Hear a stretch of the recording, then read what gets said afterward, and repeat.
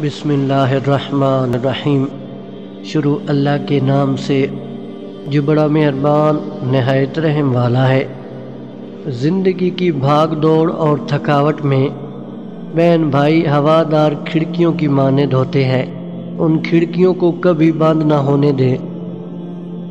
जनाब रसूल खुदा सल्लल्लाहु अलैहि वसल्लम ने फरमाया, ये बहुत बड़ी ख़यानत है।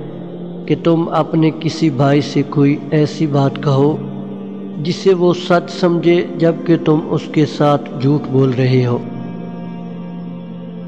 अल्लाह ताला कुरान मजीद में इरशाद फरमाता है कि जो कुछ तुम्हारे पास दुनिया में है, वो एक दिन ख़त्म हो जाएगा, और जो अमल तुम अल्लाह ताला के पास भेज दोगे, वो हमेशा बाकी रहेगा।